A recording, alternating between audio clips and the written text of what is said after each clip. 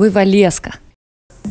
Jei esate neaukšta, rekomenduojama rinktis tik mažus smulkius aksesuarus bei minimalistinį stilių, kad figūra neatrodytų sunkiai perkrauta. Tiek kepuraitė, sakiniai, rankinės, tiek medžiagos, iš kurios pasiūti rūbai, ornamentai, raštai ir piešiniai turėtų būti smulkus. Lieknom žemaugiams geriau vengti plačių diržų su įspūdingomis saktimis. Kur kas efektingiau jos atrodys didesniais papuošalais papuošę kaklą ir krūtinę, o diržą pasirinkusios planuoti. Tačiau jei esate neaukšta, bet turite didelės apimties krūtinę, jums tiks platus diržas ir mažas pakabutis. Jei jūsų pečiai platus, geriau nerišėti dekoratyvinių skarelių ir šalikėlių, kaklą geriau papuošti ilgais karoliais ar grandinėlė. Prie ilgo kaklo dėrės šalikėliai ir papušalai arti kaklo. Kuo daugiau susikabinsite grandinėlių, karolių ar pakabukų, tuo trumpesnis atrodys kaklas. Tačiau venkite ilgų V formos papušalų. Taip pat venkite ilgų ir siaurų auskarų. Trumpą kaklą galima padaryti plonesnį ilgomis kaklaskarėmis arba vėriniais. Ilga V formos iškirpta. Plona ilga kaklaskarė uždedama aplink kaklą ir surišama žemai arba paliekama nesurišta.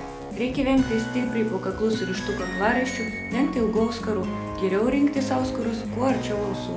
Taip pat vengti plačių storų, priglundančių prie kaklų papušalų. Platus diržas susiktas ant klubų priduos figūrai trūkstamos apimties. Tačiau jei norit sumažinti klubo apimtį, jums dėlėtų elgtis atvirkščiai, labiau akcentuoti viršutinę kūno dalį Papuoškite kaklą ryškesniais karoliais arba stilingų kaklaraiščių. Norinčiam sumažinti krūtinę reikia vengti raukinių, didelių kaspinų ir kaklaskarių. Papuošalus reikia nešioti aukštai ties kaklu, ant atlapo arba prigludusius prie kaklo vėrinius, sagės, žemus plokščius vėrinius, karolius. Vengti ilgų stambių grandinėlių ar vėrinių, kurie krenta virš krūtinės. Diržai turėtų būti siauri ir tokios pats spalvos kaip lemens linija. Vengti plačių, tamprių, elastingų diržų, kurie nuslinkia į viršų krūtinės lastos link.